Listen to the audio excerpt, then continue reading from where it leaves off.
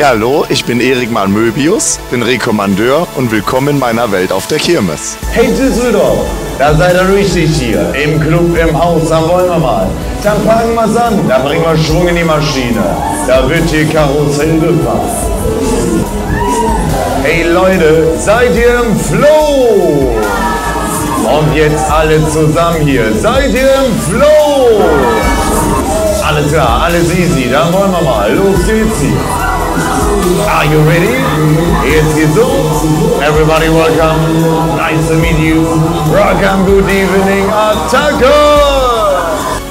Ja, Kamera Start klar. Im Hintergrund wirst du auch schon hier gefilmt gerade, ne? Und erwartet. Richtig. Denn heute geht's um dich. Ja, das freut mich, dass wir uns endlich nach Jahren mal wiedersehen.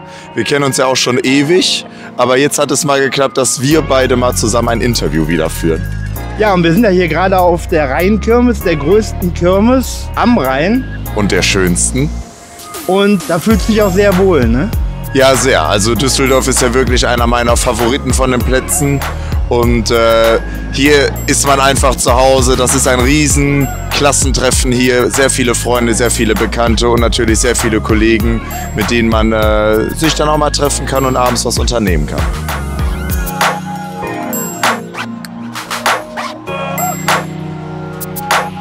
Markus, hier bin ich. Ich bin nicht mehr das kleine Mäuschen, sondern ich bin jetzt cool und lässig und flippig. Ja, Erik, wie sieht's aus? Sollen wir mal rumgehen? Auf jeden Fall, ich habe da Lust drauf. Lass uns eine Runde über einen Bummel rummeln. Ja, hier gibt es auch äh, jede Menge Kirmesbegeisterte. Und ich glaube, äh, Kirmesbegeistert bist du auch, ne? oder? Ja, Kirmes ist meine Welt, weil, wie gesagt, ich bin ja damit aufgewachsen. Das Thema hat mich eigentlich immer ein bisschen beschäftigt und das war damals mein Hobby gewesen. Und als ich äh, dann äh, die Gelegenheit hatte, in Dortmund zur Osterkirmes bei HW Wegener das Ganze mal auszuprobieren am Beachjumper, als er den neu hatte, da hat mich das komplett gefesselt. Also dieses am Mikrofon sitzen und die Leute zu begeistern und mitzureißen und für Stimmung zu sorgen, das ist genau mein Ding gewesen. Und da bin ich eigentlich sehr verankert dann. Ja, und jetzt äh, sitzt du gerade im typischen Kirmesgeschäft. Denn äh, ich glaube, so eine Raupe, das hat was mit den Ursprüngen zu tun, oder? Ja, ich finde ja nicht nur Ursprünge, ich finde ja auch, dass die Tradition ja selbst auf eine moderne Kirmes wie in Düsseldorf, wo auch Highlights stehen oder Neuheiten, einfach mit dazugehört. Weil so ist ja eigentlich der Ursprung damals gewesen, dass die Geschäfte halt robust aus Holz und stämmig waren und äh, die gehören heutzutage auch noch mit dazu. Na, das Herz einer Kirmes ist was mir aufgefallen ist, dass es mittlerweile wieder so sein sollte, dass es familienfreundlich ist, also dass wirklich sich jeder wohlfühlt, egal wer, dass man hier hinkommt, dass man den Alltag komplett vergisst, dass man Spaß hat, dass man aber auch ohne oder mit wenig Geld über eine Kirmes und über ein Volksfest laufen kann um dem Alltag zu entfliehen und dass es nicht aufgesetzt ist, dass man sagt, ich muss jetzt damit fahren und damit fahren, sondern dass es einfach die gesamte Atmosphäre ist, ob ich mir ein Bier trinken gehe oder eine Cola oder ob ich Breakdance fahre oder die Raupe oder ob ich mir Lose kaufe, dass dieses Gesamtkonzept einfach passt, dass man am Abend, wenn man wieder zu Hause sagt, Mensch, dieser Tag ist mir in Erinnerung geblieben und der hat meinen Tag erfüllt und ich konnte halt aus meiner, aus meiner Alltagswelt entfliehen. Das ist für mich eigentlich, was eine Kirmes oder ein Volksfest ausmacht. Wie viele Jahre bist du schon auf der Reise? Also ich habe mit 24 angefangen, ich bin jetzt 36, dann könnt ihr euch das selber ausrechnen. Und äh, wie bist du dazu gekommen? Ja, wie gesagt, das Thema hat mich schon immer sehr beschäftigt oder in den Bann gezogen. Ich war auch immer damals mit Freunden in Soest und anderen Kirmessen unterwegs gewesen, wo man schon gesagt hat, da ist eine Glühbirne kaputt oder da oder hier ist was Neues oder es wurde was Neues lackiert oder umgestaltet wo die schon immer gesagt haben, Erik, du hast leicht einen an der Klatsche, wer guckt da drauf? Aber da war eigentlich immer für mich so das Auge da. Und so ist das halt alles zusammengekommen und zusammengewachsen. Und deswegen bin ich auf der Kirmes gelandet. Hat das eigentlich dein Umfeld immer verstanden oder gab es auch welche dabei, die dir gesagt haben, oh, wie kann man das nur machen? Also es gab so und so welche. Es gab Freunde, die das komplett verstanden und auch akzeptiert haben, die mit mir auch auf die Kirmes gegangen sind und das dann erdulden mussten, dass ich gesagt habe, das gefällt mir nicht oder das ist gut oder die Gestaltung ist äh, außergewöhnlich und sowas. Die haben das mitgemacht. Das ist natürlich, wenn du keine Ahnung hast oder nicht den Bezug dazu, dass du anders reagierst. Das ist so, als wenn mir einer, der größte Fußball-Fan, mir was vom Fußball erzählt, wo ich daneben stehe, okay, für mich sind das Leute, die hinterm Ball hinterherrennen und andersrum muss man das halt auch akzeptieren alles. Was denkst du, wo die Reise hingeht? Höher, schneller und weiter? Hightech-Geschäfte? Geschäfte, die schnell aufgebaut werden können, die äh, mit einer Person in einer halben Stunde äh, aufgebaut werden können oder mehr in die Richtung alte, massive Geschäfte. Also ich denke mal, dass es ja auch so ist, dass äh, wenn man jetzt zum Beispiel hier die Düsseldorfer äh, Rheinkirmes betrachtet, und steht dann auf der Brücke und hat so einen Überblick, dass man da eher die großen Geschäfte wahrnimmt, die imposant sind und die man direkt erkennt. Und dann sagt man, das ist eine Kirmes und das ist geil, da will ich hin. Ich denke mal, wenn, wenn zu viel diese Schnellgeschäfte gebaut werden, dass ähm, dann die Kirmes äh, nicht mehr die Qualität hat, äh, die sie mal hatte. Und was denkst du dazu? Was denkst du, wo geht's dahin? Ich weiß nicht, wo der Trend liegt. Ich denke schon, dass auf kompakt der Trend liegt, dass man kompakt baut, dass man weniger Kranarbeiten hat, mehr, mehr zum Klappen. Das denke ich schon, dass da der Trend hingeht. Jedoch ist es ja das, was ja die Kirmes ja ausmacht, wo wir wieder bei der anderen Frage wären, dass von jedem was dabei ist. Und es gibt ja auch wirklich noch die Klassiker wie damals von Huss, die massiv sind und schwer sind oder jetzt auch der Airwolf, was äh, der Herr Weber oder die Firma Weber ja aufgekauft hat wieder und damit ja auch Erfolge feiert. Es ist ja nun mal der Erfolg, das Geschäft und wie man es betreibt und vermarktet und alles. Und ich denke einfach, dass ähm, jedes Publikum abgedeckt wird einfach. Es ist was für die Familie dabei, da gehören die Klassiker dazu. Und es gibt auch die Highlights oder Neuheiten, die komplett neu auf dem Markt sind, die halt die Jugend dann wieder abdecken. Und das ist ja die Mischung, die es ausmacht. Deswegen, ich glaube nicht, dass man irgendwann sagen kann, die ganzen alten Klassiker verschwinden und wir haben nur noch, ich sag mal, Klappgeschäfte, die schnell auf und ab zu bauen sind. Ich denke, das wird immer eine Mischung sein und das wird der Trend sein. Und ich glaube, höher, schneller, weiter. Ich glaube, da sind wir an der Spitze angelangt, weil wie hoch wollen wir noch? Weil umso höher man kommt, umso mehr Ausflug hat man, umso mehr Platz braucht man, umso weniger kann, kann ja auch wieder drumherum gestellt werden. Denn ich denke, wir sind von der Höhe sind wir angekommen. Das denke ich schon. Ja, und äh, du kannst ja auch was dazu sagen, denn du hast auch schon am Freefall Tower gearbeitet und äh, Hochfahrgeschäfte und so weiter. Äh, was war denn alles dabei, wo du schon rekommandiert hast jetzt? Ja, da müsste ich mal überlegen. Also ich habe angefangen damals am Beachjumper, dann habe ich bei Michael Schneider am Breakdance in Dortmund gearbeitet, dann war ich mal am Skater der Familie Kaiser gewesen, dann habe ich mal den Andy Langscheid ein Wochenende ausgeholfen am Take-Off. Dann war ich mal in Aufkrange, muss man ja sagen, nicht in Krange, Aufkrange am Clubschiff oder Funschiff. Und dann bin ich tatsächlich zum Power Tower der Firma Schneider gekommen. Mit Anschluss vom Hangover, wo wir die Premiere dann hier in Düsseldorf und alles hatten. Und bei der Firma Schneider war ich acht Jahre. Und danach war ich ein Jahr zu Hause gewesen, weil ich gebaut habe zu Hause. Da habe ich mich äh, mehr um meine privaten Dinge gekümmert. Und dann war ich jetzt die letzten drei Jahre bei der Firma Kaiser Grünberg am Breakdance gewesen, die ja dann auch noch den äh, alten Breakdance von Eigner mit äh, in der Flotte hatten, also an zwei Breakdance. Ja, und jetzt bin ich seit Anfang diesen Jahr 2023 seit Würzburg bei der Patricia Kinstar am Breakdance Number One. Ja, und da gehen wir nachher dann auch nochmal vorbei, ne? Das hoffe ich doch. Damit meine Zuschauer auch mal deinen Arbeitsplatz äh, sehen können. Ne? So muss es sein. So, wir gehen jetzt mal weiter über die Kirmes hier. Sehr gerne. Bei welchem Geschäft hat es dir am meisten Spaß gemacht zu arbeiten? Ja, das ist eigentlich eine Frage, die mir oft gestellt wird. Die kann ich aber so nicht beantworten, weil eigentlich jedes Geschäft ähm, seinen eigenen Stil hat und die eigene Verarbeitung hatte. Wie das am Turm halt war, war ja mehr auf Entertainment und sehr viel Reden ausgelegt, was ja beim Breakdance nicht so ist, weil beim Breakdance ist ja eher dann die Musik im Vordergrund und dann halt die richtige Ansprache so. Aber das kann ich nicht sagen. Also da, wo ich in den Firmen, wo ich bis jetzt war, hat es mir eigentlich überall gefallen. Welcher Job war am anspruchsvollsten? Da muss ich schon sagen, dass der Job bei dem Power Tower am anspruchsvollsten war, weil da halt wirklich viel übers Reden gemacht wurde. Ne? Also dieses Nonstop-Reden und die Leute zu unterhalten, dass sie stehen bleiben und mitfahren, das fand ich schon am anspruchsvollsten. Wie ist das eigentlich mit der Sicherheit an äh, Rundfahrgeschäften? Da hast du ja auch schon eine ganz schöne Verantwortung. Ne? Auf jeden Fall hast du, aber du hast ja überall eine Verantwortung. Das ist ja nicht nur am Rundfahrgeschäft, sondern an jedem Geschäft hast du ja die Verantwortung. Und ähm, so wie am Breakdance, du musst dich auch zu 100 Prozent auf deine Mitarbeiter verlassen können, dass genau die sind ja dein zweites, drittes, viertes, fünftes Auge, die den Betrieb ja mit begleiten und auf die Sicherheit auch achten.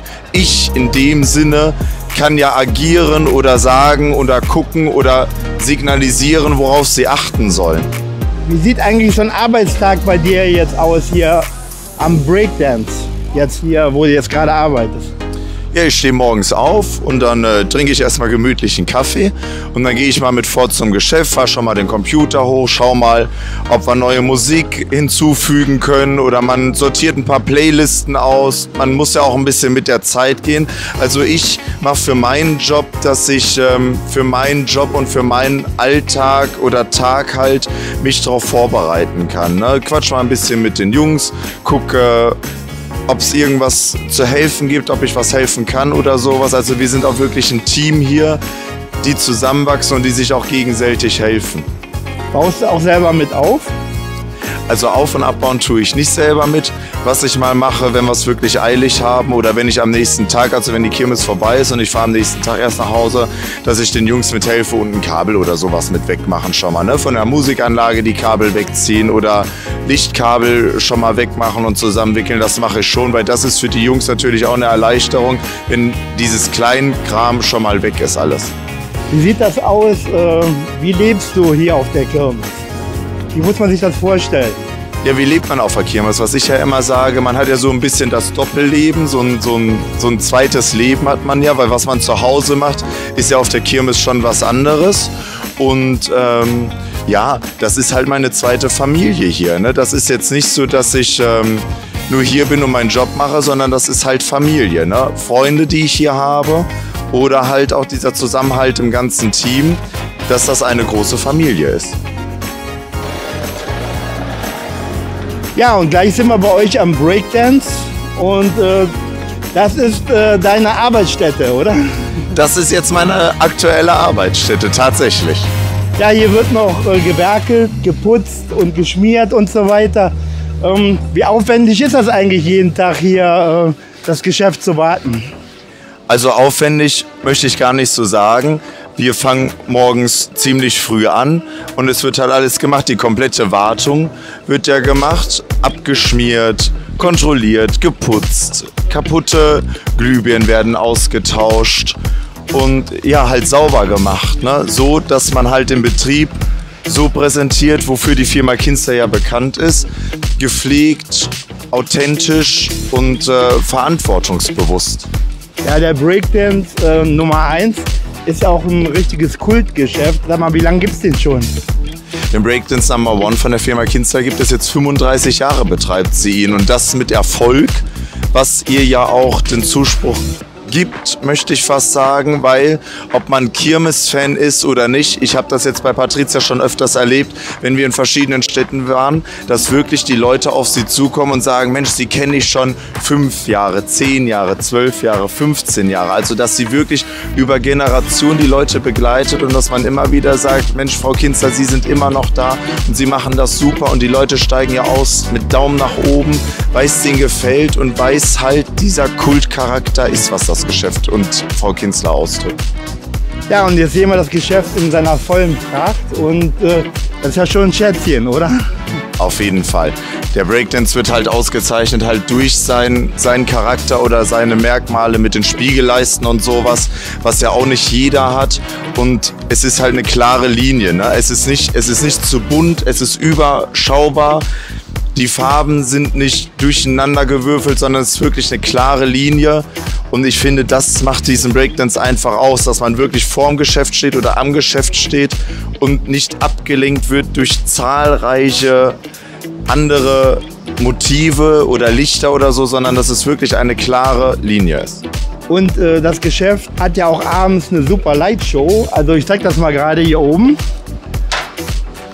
Hier gibt es äh, jede Menge Moving Heads, so heißen die. Ne? Genau, die Moving Heads haben wir als Highlight. Es sind natürlich im Nebel besser zu sehen als wie ohne Nebel, aber auch so ähm, ist man halt immer den aktuellen Standards angepasst. Also ob Moving Heads sind, ob es die LED-Beleuchtung sind. Man macht halt immer viel neu. Jetzt wurde zum Beispiel die Rückwand und der Schriftzug komplett in LED umgerüstet und man geht halt mit dem Trend mit. Man guckt aber, dass die Linie, was es 35 Jahre ausgemacht hat, nicht verloren geht, sondern dass man wirklich sagt, okay, dann kommen LEDs rein, aber man macht trotzdem die Linie weiter, wie man sie gewohnt ist. Sind ja auch RGBs verbaut? Nein, hier gar nicht. Das ist ja das, was ich sage, wovon die Firma Kinzer ja, was heißt nicht, sie möchte ja nicht abdriften von dem, was sie ja hier aufgebaut hat. Und deswegen sage ich ja, die normalen Glühbirnen wurden ersetzt in LEDs, damit man diesen Stand halt beibehält und jetzt nicht der, der Schriftzug würde, glaube ich, nicht der Schriftzug sein, wenn der jetzt auf einmal kunterbunt leuchten würde und alles durcheinander und mit 5000 Videoeffekten, weil die Leute sollen ja ins Geschäft gucken und sollen ja schauen, wie die Leute sich verhalten, dass sie glücklich sind, dass sie Spaß haben. Und alles andere würde, glaube ich, ablenken und das ist halt das, was das Geschäft hier ausmacht. So, Erik, sollen wir mal kurz zu deinem Arbeitsplatz gehen? Ja, dann kommt mal mit zum Arbeitsplatz. Als Arbeit würdest du das jetzt nicht bezeichnen, weil, weil das ja deine Welt ist, oder?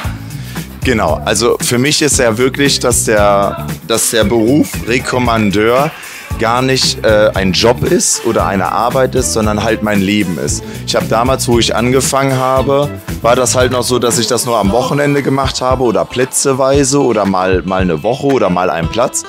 Aber wo ich dann am Power Tower zum Beispiel angefangen habe und komplett mitgereist bin und dann halt dieses Doppelleben führen musste, da wurde das halt, dass es halt mein Leben ist und dass ähm, ja man sich halt auch so bewegt und gibt. Weil ich sage jetzt nicht, wenn wir abends hier Feierabend machen und wir machen die Steuerung auch so, Feierabend, alles klar, tschüss, ich bin weg, sondern man lebt es halt. Das ist nicht Feierabend, das ist alles klar, der Tag ist vorbei und dann lässt man ihn noch so ein bisschen ausklingen. Und äh, so fängt das morgens ja dann auch an. Also man steht ja morgens auf und geht schon mal zum Geschäft vor. Die Mitarbeiter sagen Hallo, man man hat Gespräche oder ich gehe zu Patricia oder zu Roland mal nach hinten, wo man auch Gespräche hat. Oder es gibt ja auch Dinge zu erledigen, dass man was zu einer Verwaltung bringen muss oder Postwege oder einkaufen oder so. Also das ist ein, ein Rhythmus oder ein Zahnrad, wo die Zähne ineinander greifen. Und so funktioniert es hier halt. So, ich zeig das mal. Hier ist ja jede Menge Elektronik verbaut. Was sehen wir hier? Ja, hier siehst du eigentlich den Schaltschrank, also der Fahrstand, das Herzstück eigentlich von jedem Karussell. Angefangen vom Licht, also hier ist die Lichtsteuerung drin, die Lichtsicherung. Hier ist für Licht Rückwandkasse, Chipkasse und so was die Beleuchtung. Und hier ist eigentlich die komplette Steuerung drin verbaut. Apropos Steuerung, hier sehen wir ja die Steuerung. Ist das noch die Originale? Das ist noch die Original, also Original, das originale Farbpult. Und ja, von hier wird der Breakdance agiert und gesteuert. So, dann zeig uns mal ganz kurz, äh, wie man jetzt eine gute Fahrt hat bei so einem Breakdance. Eine gute Fahrt hast du natürlich nur mit einem guten Rekommandeur und das wird gesteuert hier über die Radscheibe, die du hoch und runter drehen kannst, die Geschwindigkeit und dann halt noch die Kreuze. Jeweils andrücken und ausdrücken und vorrücken. Und hier ist halt komplett die Lichtsteuerung mit ähm, den Scheinwerfern dann. Wie ist das mit Jingles? Was benutzt ihr da? Jingles benutzen wir gar keine und das ist das auch, was die Firma Kinster wieder ausmacht, dass sie diese klare Linie führen und gar nicht so viel drumherum und Ablenkung haben möchten, sondern dass man sich hier wirklich auf Musik, auf Ansprache und sowas konzentriert und dass das ein cleaner Ablauf ist. Ja, du hast ja hier so Herzen geschenkt bekommen. Von wem sind denn die?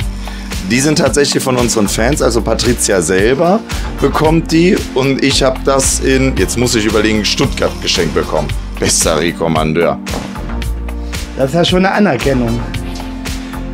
Das beste Rekommandeur ist schon eine Anerkennung, wenn das die Leute eingeben und es auch so meinen. Allerdings bezeichne ich mich nicht als bester Rekommandeur, weil ich finde, es gibt keinen besten Rekommandeur. Das ist über die Jahre gewachsen alles und ähm, jeder gehört zum Geschäft dazu. Was für mich immer so ist, wie der Simon zu dem Shake gehört, weil ich finde, von der Stimme her und vom Ablauf und wie er das Geschäft betreibt, ist das 100%, das passt wie ein Justin am Breakdance sitzt. Jeder hat so seinen Geschäftstyp und seinen Ablauf, wo er sich darauf fokussiert und wo er sich entfaltet und sich ausbaut. Und das ist ja wichtig, dass man weiß, was man macht und dass man das Geschäft verkörpern kann. So sehe ich das immer. Was denkst du darüber, über manche Kirmes-Fans, die dann schreiben, ah, den Rekommandeur, den kannst du aber vergessen oder der Rekommandeur ist spitze und äh, sollten die dann nicht ein bisschen äh, toleranter sein? Oder? Hm, ich finde immer, jeder hat ja so seine Meinung. Und wenn ich keine Salami esse, dann esse ich keine Salami. Da kann mir keiner sagen, kauf die doch mal von der und der Marke und probier die mal. Und ich finde, so ist das auch auf der Kirmes. Es ist ja überall so. Es gibt jemanden, der findet was gut und es gibt jemanden, der findet was schlecht. Was ich immer sage oder unterscheide, wie man es rüberbringt. Wenn man jetzt einen nicht gut findet, ist das eine Sache. Aber man dass man jetzt einen noch schlecht macht oder das Geschäft dann schlecht redet, das finde ich halt nicht so. Aber das sind halt die Kirmes-Fans. Das unterscheidet einen von einem normalen Kirmesbesucher, weil ich glaube, kein normaler Kirmesbesucher würde jetzt über den Platz laufen und sagen, der kann nichts. Weil warum? Das ist eine Momentaufnahme, wo er vorbeigeht. Da ist ja eher das Ziel, den normalen Kirmesbesucher in den Bann zu ziehen, dass er stehen bleibt, dass er mitfährt, dass er das Gefühl hat, dass er hier hingucken muss, dass er hier mitfahren muss. Das ist ja die Kunst an diesem Job.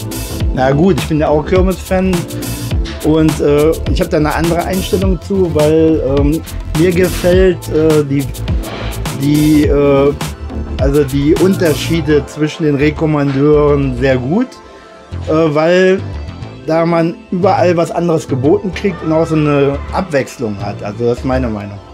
Genau, und das ist ja das, was ich auch wieder sage. Jeder hat seinen eigenen Style und jeder muss sich selber in diesem Betrieb, wo er dran sitzt, entfalten. So, hinter dir habe ich ja gerade gesehen, hier ist äh, so ein äh, Hauptschalter. Und äh, wo habt ihr jetzt euer Not aus, wenn jetzt äh, beispielsweise, wenn ihr jetzt das Karussell schnell anhalten müsstet. Ja, der Notaus ist immer am Fahrpult eigentlich verbaut. Das hat jedes Geschäft, das ist ja so vorgegeben, dass das am Fahrpult ist. Und hier hinten ist eigentlich nur die Hauptsicherung für den ähm, Betrieb, für die, für die Ansteuerung. Und unten ist äh, fürs Licht. Also das ist einmal zweimal abgesichert. Einmal für den Betrieb an sich und einmal fürs Licht. Wie lange dauert das ungefähr, wenn du jetzt den Notaus äh, drückst, bis das Karussell zum Stillstand kommt? Ja, es dreht aus. Ne? Also es ist dann stromlos geschalten und es dreht aus und bleibt dann stehen. Also mir hat vor kurzem ein Konstrukteur äh, von äh, so einer Fahrgeschäftsfirma gesagt, dass in der heutigen Zeit das gar nicht mehr möglich wäre, ohne so ein Geschäft einzuzäunen, äh, sowas zu eröffnen. Er meinte zu mir, wenn jetzt so ein Breakdance neu gebaut würde, dann würden die erstmal einen Zaun drum bauen und dann wird das eine Genehmigung kriegen. Und so wie das jetzt gehandhabt wär, äh, wird, äh, wäre gar nicht mehr möglich. Also das heißt, das wird jetzt geduldet praktisch und das wird alles immer strenger. Was hältst du davon? Ja, ich meine, das Thema Sicherheit ist ja eh immer so ein Thema für sich. Es ist ja wichtig und es ist auch wichtig, dass man mit der Zeit geht. Und man sieht es ja, wie du ja gerade sagst, an den neuen Geschäften ja schon, dass ja die Bahnhöfe, wie wir sie ja nennen, tatsächlich so gebaut werden, dass die Leute sich davor sammeln und sowas. Ich finde, das ist ja dieser Klassiker Breakdance, das ist ja das, was das Feeling ausmacht, dass die Leute auf den Faulenzern oder hinten an der Rückwand verweilen und ja eigentlich dieses Geschäft ausmachen, dass sie halt hier sind, dass sie chillen, dass sie das Geschäft erleben, dass sie die Musik hören, dass sie sich hier mit Freunden treffen. So ein Breakdance ist ja auch immer so ein bisschen Dreh- und Angelpunkt eigentlich auch. Also wenn man sich irgendwo trifft, dass man sagt, komm, wir treffen uns am Breakdance, weil da halt dieser Jugendbann ja schon sehr im Vordergrund steht. So, ich habe jetzt hier, blende das mal ein. TÜV, das sagt ja schon alles. Und, äh, Von 1988, das ist nicht die letzte Prüfung, sondern das ist die erste Prüfung gewesen. Das war jetzt so ein kleiner Gimmick. Ähm, und zwar sehen wir ja hier so Spannungsanzeigen. Ne? Also hier einmal von den äh, Gondelkreuzen und dann äh, von den äh, Motoren. Ne? Und ähm, worauf müsst ihr da achten? Ja, wie du ja siehst, das ist einmal Motor 1 und Motor 2, weil der große Breakdown zum Beispiel, also mit den sechs Kreuzen, hat zwei Motorantriebe statt ein. Und ja, das ist halt dann für uns so ein bisschen die Überwachung, ne? wie die Motoren halt arbeiten. Sie müssen halt immer, wenn du die Motoren aufdrehst, müssen sie halt gleich laufen und die gleiche Spannung haben, dass sie halt gleich arbeiten. Ne? Achtest du auch darauf? Ja, da solltest du schon drauf achten, weil das gehört auch dazu. Also es ist nicht nur hier sitzen und dumme Sprüche klopfen, sondern es ist wirklich die komplette Sicherheit und Aufgabe, was wir hier vermitteln und worauf wir auch wirklich achten. Ja, und jetzt habe ich das auch gerade noch hier gesehen, und zwar, das ist hier so eine Lichtsteuerung. Ne? Genau, die ist für die Schrift, für die Umrandung. Rückwand wird damit äh, gesteuert. Äh, was sehen wir hier noch? Äh, hier ist auch noch jede Menge Elektronik verbaut. Genau, das ist halt komplett für die Steuerung. Im rechten Schrank sind halt die Typax für die Kreuze verbaut und hier im linken Schrank sind die Typax für die Radscheibe verbaut. Je Motor ein Typak. Hier unten habt ihr noch eine Kühlung. Genau. Es wird immer sehr heiß. Das hat Hus irgendwie standardmäßig drin, dass wenn man die Steuerung einschaltet, man gleichzeitig eine Heizung hat. Was viele nicht wissen, ähm, Ihr müsst ja hier wirklich auf alles achten. Ne? Ihr habt ja hier Feuerlöscher, ne? die zeige ich jetzt mal gerade. Ne? Das hat bis jetzt noch kein Kirmes-Fan oder äh, Reporter eingeblendet. Ähm, das gehört ja alles dazu. Hier sind ja unzählige Sachen, äh, auf die ihr achten müsst. Ne? Was es denn da noch alles? Genau. Also ja, das sind halt diese ganzen Kleinigkeiten, was auch mittlerweile vom TÜV oder von den Behörden halt vorgeschrieben wird und woran man sich auch zu halten hat, dass wenn wirklich mal was ist, dass man äh, vorbereitet ist. Ne? Wie der Verbandskasten aktuell sein muss, so wie im Auto auch, sonst bekommst du auch keinen TÜV. Also dass der Verbandskasten äh, für Notfälle da ist. Die Feuerlöscher auch. Das sind äh, auch zwei verschiedene, nicht weil wir gedacht haben, wir kaufen mal zwei, sondern zwei verschiedene, weil es einmal wirklich gegen Feuer ist. Und dann ist der kleinere zum Beispiel, wenn jetzt im Schaltschrank was wäre, ne? weil du mit diesen Stoff, was da drin ist, halt den Schaltschrank löschen oder unter Kontrolle bringen würdest, wenn da drin was wäre, weil du halt nicht mit diesem Wasserstoff, was in den anderen drin ist, da mal eben in die Elektronik reinsprühen kannst. So, ich zeige das mal hier.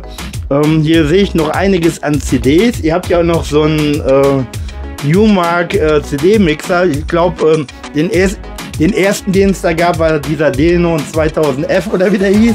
Den hatte ich früher auch. Mhm. Und ähm, Arbeitet ihr noch damit oder mehr mit Computer? Äh, sowohl als auch. Also wir machen viel über den Computer, da das halt äh, schneller, schneller ist und, und schneller rauszusuchen ist, wenn man was tut. Aber an sich äh, benutzen wir auch noch CDs tatsächlich, weil wir CDs ja haben, beziehungsweise Patricia auch wirklich CDs hat, wo Mixe drauf sind oder Lieder drauf sind, die halt nicht jeder hat. Ne? Und da legt sie halt auch viel Wert drauf, dass halt genau das gespielt wird, was nicht jeder hat. Wird sich hier auch viel gewünscht? Es wird sich viel gewünscht, aber es wird nichts erfüllt. Also so harten Hip-Hop und so spiele ich jetzt nicht, so harten deutschen Hip-Hop oder sowas. Also Hip-Hop schon. Der Breakdance ist ja, Patricia ist ja auf die Schiene RB, Hip-Hop und so war, oder Black fährt sie ja auch, da ist sie ja schon drauf fokussiert. Habt ihr irgendwie eine Grenze, was er jetzt nicht spielen würde? Ja, was halt zu beleidigend ist oder so, ne? Also was zu viel was zu viel in so eine Schiene rutscht, dass es nicht mehr dazugehört. Also so Deutschrap und sowas spielen wir auch, aber halt Deutschrap, was so ein bisschen den Beat hat, wo man mitgerissen wird, was halt einen coolen Text hat und sowas, aber jetzt nichts, wo man Wörter hört, die man nicht hören möchte. Ja, jetzt noch was zum äh, Thema Ticketpreise und äh, Ihr seid ja dann noch sehr äh, familienfreundlich aufgestellt, ne?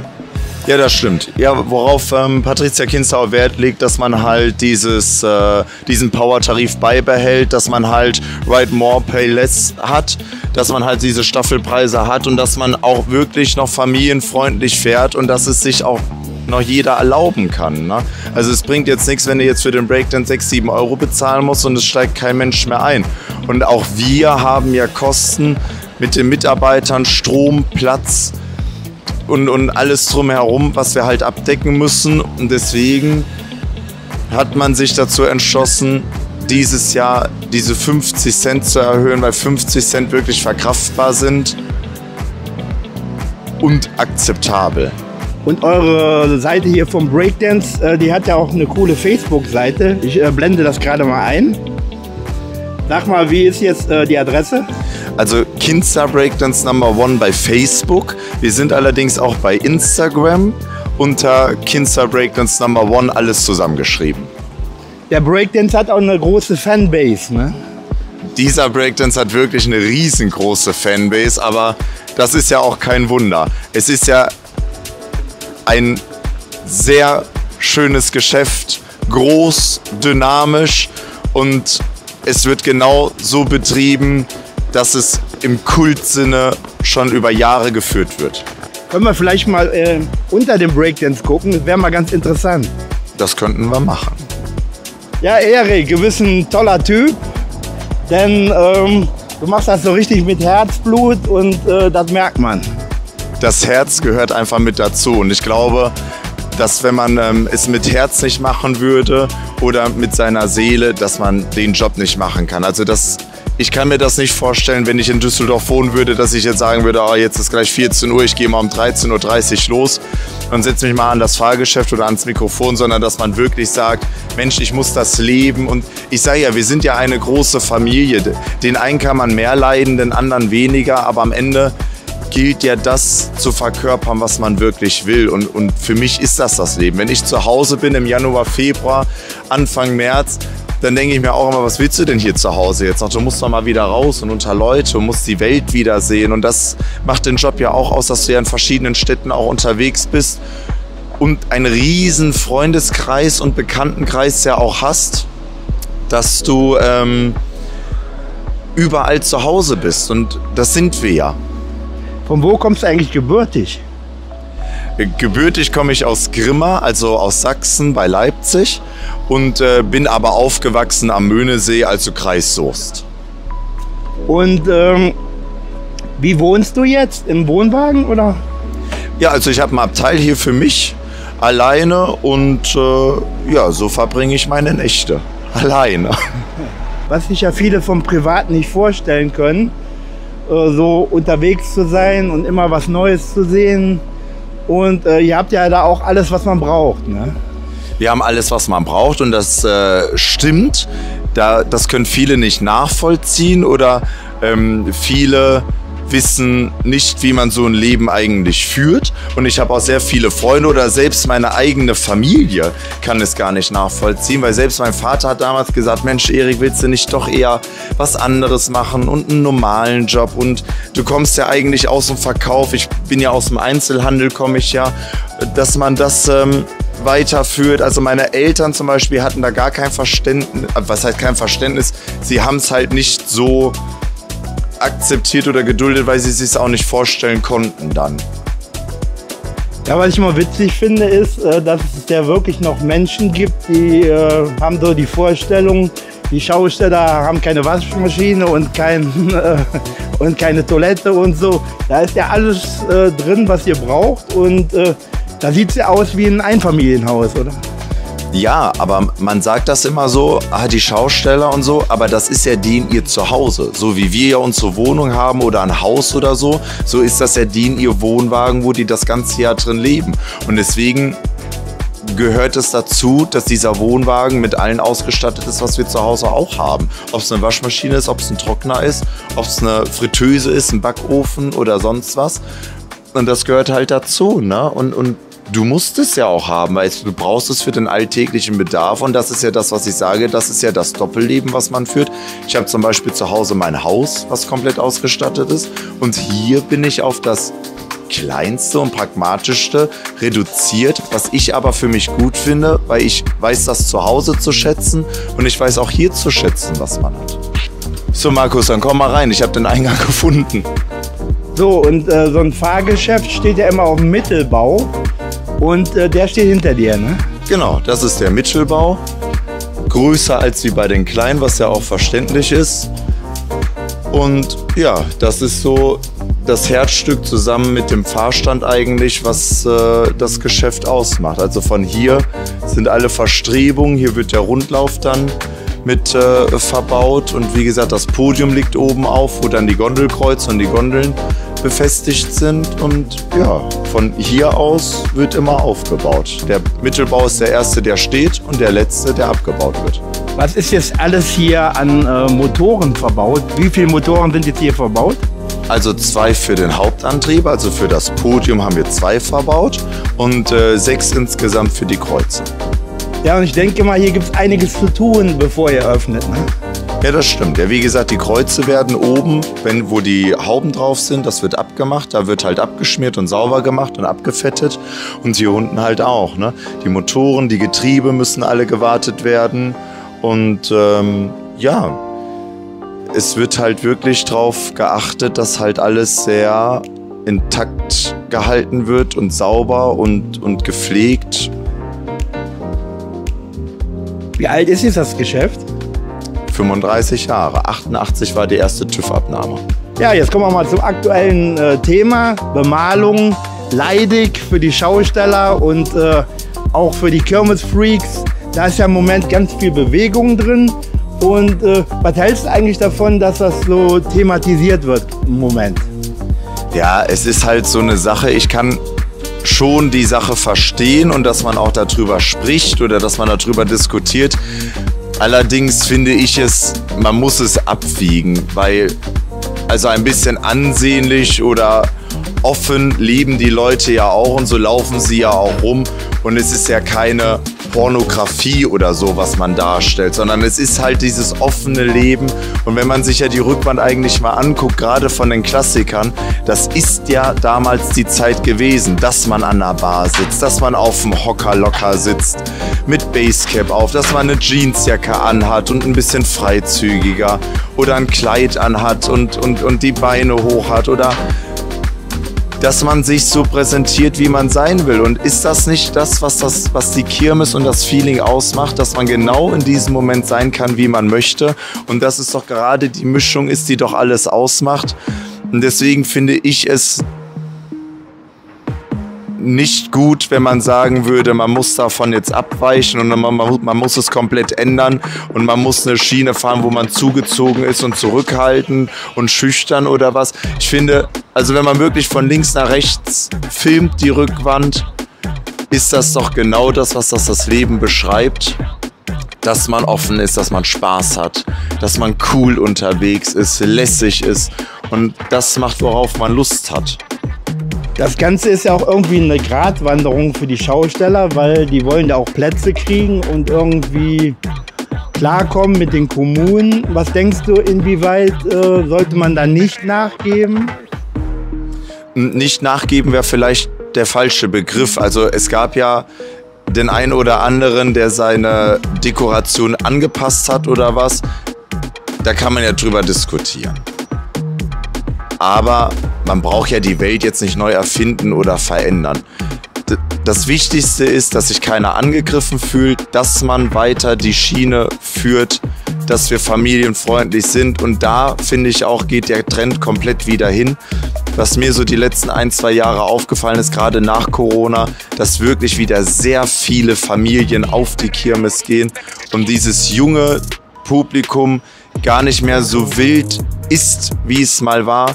Und das muss in Einklang sein.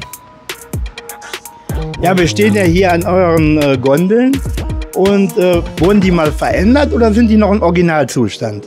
Nee, die hatten mal ein neues, also das, was jetzt drauf ist, das ist eigentlich das neue Design, was mal gemacht wurde. Und ähm, ja, das hat sich halt durchgesetzt. Ne? Aber wie ich ja vorhin schon mal sagte, mit dieser klaren Linie, das finde ich ist halt hier wirklich so, weil wenn man drum herum steht oder auch vorm Geschäft, du wirst, du nimmst die Farben wahr, aber du wirst nicht abgelenkt. Viele haben ja irgendwelche Gesichter drauf oder ganz viel bunt und sowas, wo du dich eigentlich auf diese Gondel konzentrierst. Aber wenn du jetzt hier so am Geschäft stehst, finde ich, das ist meine Meinung, dass man schon ins Geschäft reinguckt und die Leute beobachtet, was sie machen, dass halt die Ablenkung gar nicht da ist. Ja, und äh, heute ist es mal nicht so heiß, auch nicht schlecht, oder? Ja, Gott sei Dank. Wobei ich muss ja sagen, dass ich das Düsseldorf gar nicht so kühl kenne, in Anführungsstrichen. Es sind wirklich schöne Temperaturen. Hm, was ich auch besser finde. Also es weht ein bisschen Wind, aber es ist angenehm. Also man kann nicht sagen, es liegt am Wetter, dass die Leute nicht kommen können. So, ich blende das mal ein hier. Hier sehen wir ja eine ganz besondere Fahne, nicht wahr, äh, Erik? Genau, die Regenbogenfahne. Denn heute ist hier in Düsseldorf auf der Rheinkirmes Pink Monday, was sich ja sehr eingebürgert hat in den letzten Jahren und was auch immer mehr mitmachen. Also es wird immer, immer mehr zum Fokus auf diesem Montag. Ja, und du selber bist ja auch schwul, ne? Genau. Und wie ist das so? Äh, wirst du da anerkannt auf der Kirmes? Ja, das schon. Also ich lebe ja mein Leben sowieso, wie ich das möchte. Ich lasse mir nicht wirklich was vorschreiben oder ich passe mich auch nicht an oder so. Ich ähm, habe mich damals geoutet, da war ich 14. Wie gesagt, jetzt bin ich mittlerweile 36 und ähm, jeder soll eigentlich leben, wie er will. Gibt es da eigentlich immer noch Vorurteile? Ich denke schon, dass es da Vorurteile gibt und auch Berührungsängste. Es sind ja auch wirklich viele, die sagen, ja, wenn du schwul bist und sowas, dann ist das eine Sache, aber lass mich in Ruhe, wo ich immer sage, das eine hat ja mit dem anderen nichts zu tun und nur weil ich schwul bin, heißt das ja nicht, dass ich sofort jeden Mann oder sonst was haben möchte. Ja, und jetzt gehen wir zu einer berühmten Location und äh, da findet nachher die Party statt, ne? Ja, wir stehen jetzt hier direkt im Schwarzwaldkristel drin, im schönen Biergarten, bei super angenehmen Temperaturen und hoffen, dass der Pink Monday heute ein voller Erfolg wird. Ja, und den gibt es ja nicht zum ersten Mal, ne?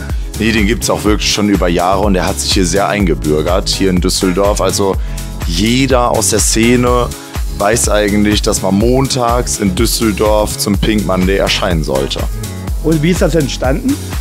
Entstanden weiß ich gar nicht. Ich denke, das wird eine Gruppierung gewesen sein, die sich wohl montags immer getroffen hat oder sonntags oder wie auch immer und dass man es dann auf montags festgelegt hat und dass die Leute sich dann hier getroffen haben. Weil das Schwarzwaldkristel hier in Düsseldorf ist wirklich der zentrale Punkt, wo es eigentlich losgeht. Und alle anderen bauen sich das jetzt nach und nach auf und aus und äh, verfolgen den Trend, also dass wirklich dieser Montag zum Pink Monday wird, dass diese ganze Veranstaltung eigentlich in diesen Bann gezogen wird. Ja, und hier geht es nachher zur Sache. Ja, ich hoffe, hier geht nachher richtig die Post ab oder was. Vielleicht werde ich mal in meiner Pause auch hier vorbeischwirren und mir das Spektakel mal angucken. Ja, wollte ich gerade schon sagen, denn bei dir geht es nachher auch zur Sache, ne? Genau, bei uns geht es nachher auch zur Sache. Wir werden auch mal gucken, was wir unseren Besuchern heute zaubern können. Wie ist eigentlich der Ablauf hier vom äh, Pink Monday? Was wird hier alles geboten? Ja, wie gesagt, mittlerweile sind ja wirklich, dass dieser ganze äh, Festplatz, das ganze Schützenfest eigentlich den Pink Monday annimmt. Also viele Schausteller gestalten ihre Geschäfte da schon richtig für, dass sie wirklich die Regenbogenfahnen hissen oder pinke Luftballons an ihre Geschäfte binden. Und ähm, ja, es wird halt, es ist wirklich eine große Show, wo viel geboten wird mittlerweile. Ja, jetzt habe ich noch eine Frage an dich und zwar ähm, das Thema Schwul ist ja im Moment sehr, sehr populär und ähm, es wird ja auch sehr, sehr hochgekocht, würde ich mal so sagen. Äh, wie siehst du das? Ja, ich bin ja kein typischer Szenegänger, also ich sage ja, wer schwul ist oder lesbisch oder wie auch immer, der kann das ja gerne leben und sowas. Was ich halt immer so finde, wenn es allen aufgezwungen wird und so, da bin ich halt nicht der Typ für. Ne? Wo ich halt auch sage, leben und leben lassen und jeder sollte eigentlich machen, was er will ob man das so fokussieren muss und so. Ich meine, wie in Köln und Düsseldorf oder in anderen Städten, diese ganze CSD-Geschichte und sowas. Klar ist das wichtig, um es zum Thema zu machen. Aber man muss gucken, dass man es auch abwiegt und dass das Ganze in der Parade bleibt und keine Selbstdarstellung und sowas. Denkst du nicht, dass es inzwischen dann auch äh, viele Mitläufer gibt, die das einfach nur als äh, Marketing äh, benutzen? Das denke ich schon. Da gibt es ja tatsächlich das eine oder andere oder auch wenn ich bei Facebook oder bei Instagram das manchmal sehe, wie manche Firmen, ähm, Marken sich dann die Regenbogenflagge oder ihr Logo dann auf einmal umwandeln, da halt in die Regenbogenflagge, um auf den Zug aufzuspringen und sowas. Da denke ich mir immer so, warum muss das sein? Weil ähm, es ist ja am Ende eine sexuelle Geschichte, denke ich mir. Und was ich ja im Schlafzimmer mache, sage ich mal so flop heraus, das geht ja eigentlich keinem was an. Ich glaube, dieses Pride sollte weniger mehr auf dieses Lesbische und Schwule bezogen werden, sondern eher auf die Vielfalt, dass man halt offen ist, dass man sagt, okay, wir, wir, wir sind wir sind offen, wir akzeptieren andere Menschen, egal ob dick, ob dünn, ob schwul, ob lesbisch, ob hetero, sondern dass wir einfach so leben, wie wir wollen und uns da keine Vorschriften mehr machen lassen. Und ich finde, das ist eigentlich das, was, was dieses Pride oder der Pride ausmachen soll. Was denkst du eigentlich, was das optimale Maß wäre? Das optimale Maß wäre, dass du morgens aufstehst oder dass jeder eigentlich morgens aufstehen sollte und sagen sollte, ich bin ich, wer ich bin und ich akzeptiere jeden, wie er ist. Das wäre das optimale Maß. Ja, Erik, und äh, du bist ein toller Typ. Danke. Und ähm, du bist auch beliebt hier auf der Kirmes, ne? Ja, die einen lieben mich, die anderen hassen mich. Das ist es ist, wie es ist. Aber ich äh, sage ja immer wieder, ich mache das, was ich möchte und ich habe meine Freunde und alles andere soll jeder machen, wie er denkt. Wie lange geht das hier noch? Ja, wir haben jetzt Montag, also jetzt geht es noch bis einschließlich Sonntag und Sonntag ist dann der letzte Tag. Möchtest du die Leute vielleicht mal zu eurem Breakdance einladen? Ich lade jeden ein, der Lust hat, den Alltag zu entfliehen und nicht nur auf den Breakdance zu kommen, sondern einfach auf die Düsseldorfer Rheinkirmes. Kommt vorbei, erlebt es und ihr werdet wissen, wovon ich spreche. Ja, Erik, vielen Dank für das nette Interview und schön, dich mal wieder zu sehen. Und äh, wo bist du jetzt demnächst noch auf Tour? Ja, mich hat das auch sehr gefreut. Vielen Dank auf jeden Fall auch an dein Interesse, Markus. Wir sind noch in äh, Düren, in Bonn, in Stuttgart, Bad Kreuznach sind wir noch. Und ja, wir haben noch so ein paar Plätze, die wir halten. Und dann schauen wir mal, wen wir da noch alles so treffen. Tschö. Tschüss. Bis zum nächsten Mal. Ciao. Düsseldorf, wie schaut's aus? Habt ihr gute Laune? Hey Düsseldorf, ich rede mit euch. Habt ihr gute Laune? Alles klar. Dann wollen wir mal. Dann packen wir's an hier.